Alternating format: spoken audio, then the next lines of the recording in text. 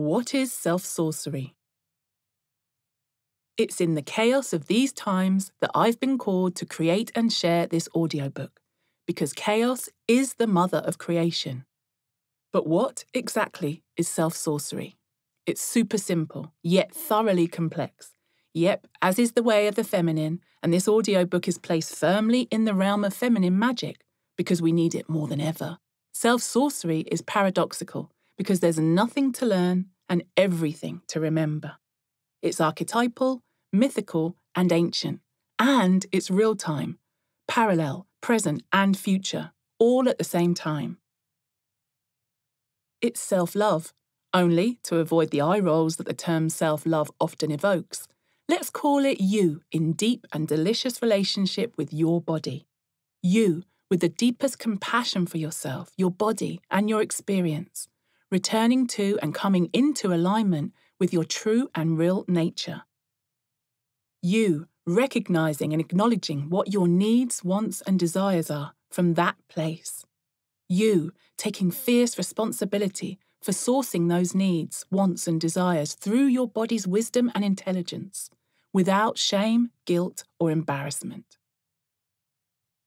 It's liberation. Self sorcery unhooks you from the incessant need to seek and strive, the what next and fear, freakery, and the conditioned belief that you need to be good. And it allows you to create a stretchy and permeable container in which you get to set the boundaries. Choose what you believe and align with. Fill yourself up. Nourish yourself. Cultivate your energetics and remember your magic. The magnetic magic and wisdom that's held cell deep to show up through you and for you. It's magic, your magic.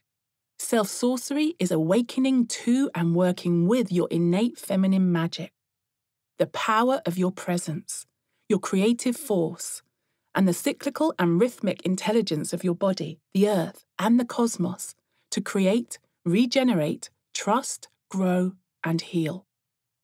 It's not a formula, it's a frequency, your unique to you frequency. Note, I'm not here to teach you any of this. My intention is always to simply share and to be a guidess supporting your remembrance. Surrender to it all.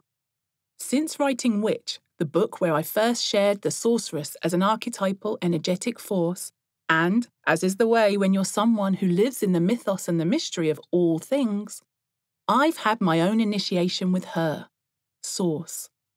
And one thing I know to be true is that if you declare to Source, in a book called Witch, let's come undone, you can guarantee that she will, by any means necessary, ensure that you do indeed, with all the fiercest love, come undone that you will find yourself in the dark, the chaotic, and the unknown, meeting parts of yourself that, well, you really don't like or have previously tried really hard to ignore.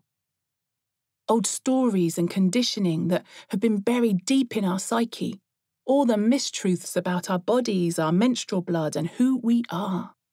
The spell of the good girl, and the fears, oh my goddess, the fears the fear of the repercussions of being someone who draws too much attention to themselves or takes up too much space, the fear of being abandoned for daring to shine too brightly, the fear of being punished for experiencing pleasure, desire, and sensuality. Yep, when you say, as I did, that, as witches, we self source, create ritual, and celebrate our bodies, so that when others spend time in our presence and wholeness, they remember themselves too, you can be damn sure that she will support you, kick your ass, initiate the shit out of you, so that you do exactly that. But first, you have to surrender. You surrender to it all the pain, the trauma, the stories about who you are that are not and never will be true. And, like the serpent in every tale about notorious and powerful women, well, certainly in those that I choose to read and to tell, you shed audaciously, and you keep shedding till you're bone deep. Down to the bones. Ever heard the phrase, I know it in my bones? My Nana used to say it, and no one disagreed with her because she did know it. And by it, I mean everything in her bones. My Nana, who you may have met through my stories about her in other books, was my very own version of La Loba, a mythical woman of the indigenous American Pueblo peoples, the witch who lived on the edge of society and collected the bones of the dead. La Loba would sing to the bones, and as she sang, they'd begin to fuse. Flesh and fur would appear, and eventually a wolf would form and run out into the wild. But the bones my Nana collected were animal bones to make broth, a broth that seemed to be boiling on the hob for my entire childhood, probably because it was. She'd sing Irish folk songs over that broth as she stirred it to ensure that what we ate was infused with good intentions something I continue to do today when I'm making food for myself and others. The good news? When we surrender to all that we think we know, when we shed layer by layer down to the bone, down into the marrow where blood is made, we're in the deepest, most resonant part of ourself. It's here that we can locate and orientate, even in the dark, especially in the dark. And we too can, with intention, sing and dance and drum back our wildness. Our wild, primal, instinctual, underneath it all, real and true, mother loving nature.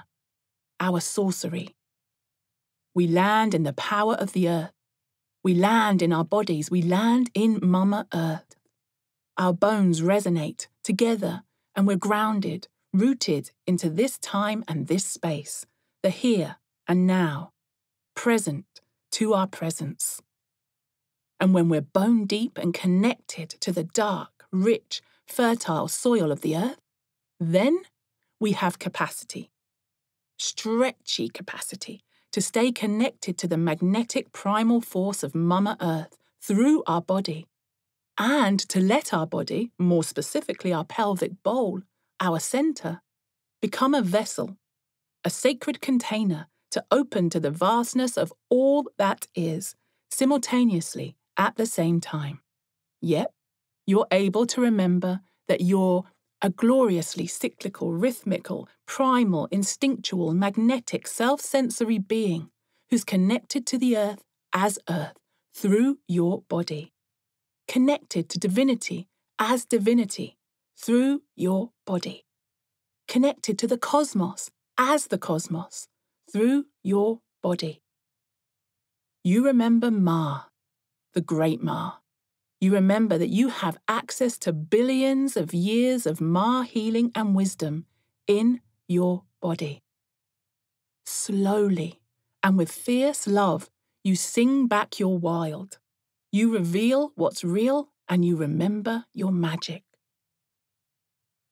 You create capacity your capacity to alchemize and metabolize to recalibrate and regenerate, your capacity to acknowledge, trust, and self regulate your nervous system, and to feel really good about being in your body. Your capacity to locate and sense your deeper, truer needs, to sense it all, to sniff it out, track it, map it, taste it, feel, hear, witness, and experience all of the things, said and not said, seen and not seen. Your capacity to take fierce self responsibility, to discern and to act accordingly. Your capacity to choose and to change your mind. Your capacity to experience pleasure and joy. Your capacity to source your own power, authority, and life force. Be the sorceress. Look, I won't lie, the self sorcery process can be gnarly. And it can also be really bloody brilliant. That's what happens when we live in the fullness of our possibility. It's the most potent medicine of all. The ever unfolding paradoxes that untether us from our often grippy need to control all of the things. Our need to be sure and to be right so that we're able, with the fiercest compassion, to reclaim Lilith, to reclaim Mary Magdalene, to reclaim all of the women throughout time and space who were exiled, burned, drowned, maligned, shamed, called mad and hysterical, and punished for who they were and what they knew. So that we're able, with potency, power, and reverence, to return. Return it all home, to them, to us, to our bodies, to the earth, so that we're able to fully embody and become the archetypal, mythical, and very real sorceress. She who is charmed and dangerous and is not afraid of the dark. She who trusts herself, her inner sight, her bone deep wisdom. She who tends to, nourishes, holds, and regulates herself. She who honours and satiates her hunger, needs, wants, and desires without blame, shame, or judgment.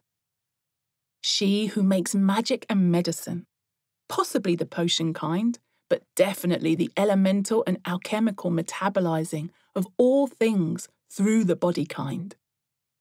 She who is able to hold space for multiple possibilities, experiences, and outcomes as we navigate, liberate, create, and thrive on this planet, all at the same time. If witch was the call, then self sorcery is the response. It's cell deep nourishment and regeneration for those who are on this sorcerous path. It's the ability to metabolize, alchemize, and grieve for the death of what's been before, and to be a fully aligned with the divine co creator of what comes next. It's an attunement and full and deep integration. It's magic and it's real, because magic is real. It's feminine artistry. It's a dance with the divine. It's a bit sciency, if you want it to be, and it's a fully lived and felt experience. It's a recognition of the trauma and or programmed pain of these times. And an ever fiercer recognition that when we live fully inside our skin as a whole being, we have the power, wisdom, and agency in our bodies through our return to Ma, our primordial power, our reconnection to her cyclical maps of intelligence, our return to nature and our own real and true nature. As cunning folk, alchemists, magic makers, witches, wise ones, to embrace simultaneously the pleasure and pain of this life living experience and make much needed sorcery, magic, and medicine for ourselves, each other, and the collective. Self sorcery is you, fully sourced by source, nourished, fully satiated, orientated toward life while knowing death intimately, following your oracular wisdom, your inner sight and Gnostic knowing, and trusting the ever unfolding revealment of being in your body and living your rhythm.